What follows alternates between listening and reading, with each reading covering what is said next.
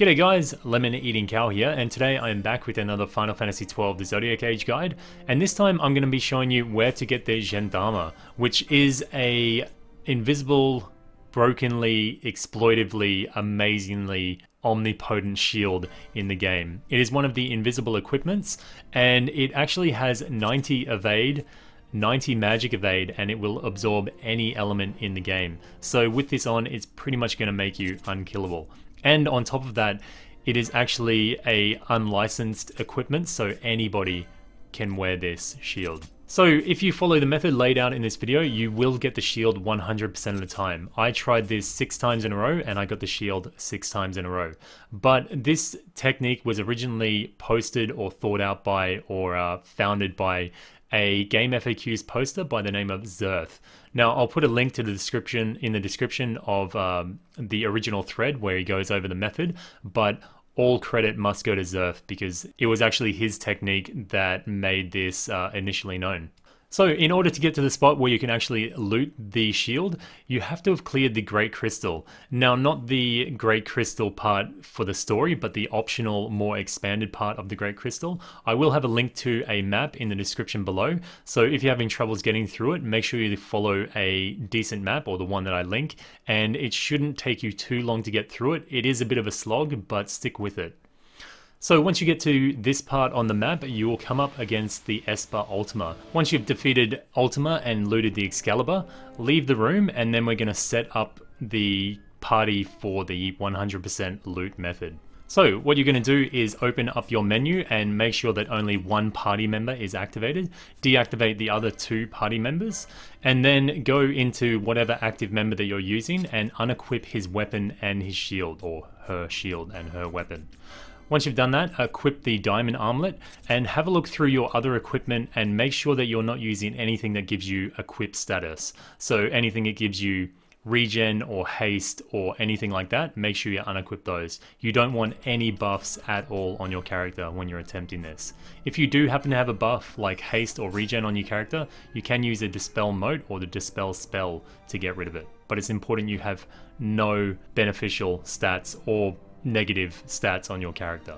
Once you have your party set up or your character set up, then walk through the barrier back into the room where you fought Ultima, and at that point you'll get the autosave.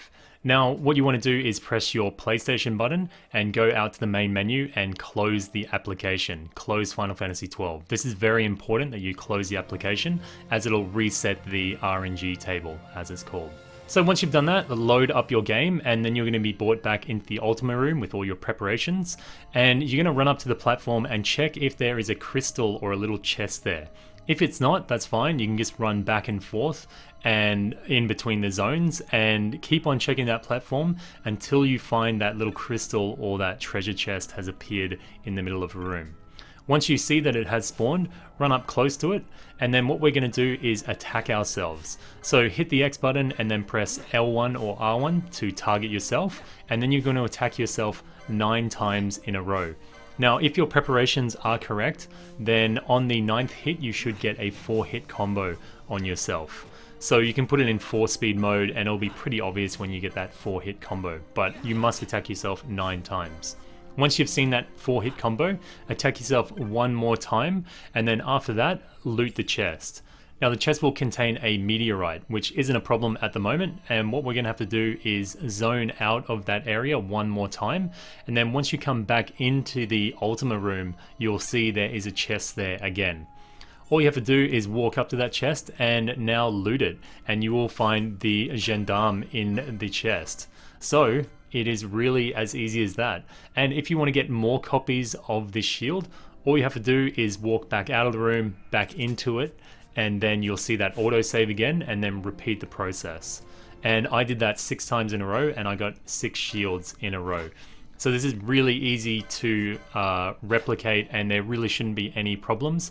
If you are finding it's not working for you despite following all the steps, it may be that the character has the licensed brawler or brawler law. I'm not really sure if that affects it, but that's the only thing I can imagine might. Anyway, once again, props to the Game FAQs Game FAQs user Zirth for posting this method and thank you very much because it was a uh, fantastically easy way to do it.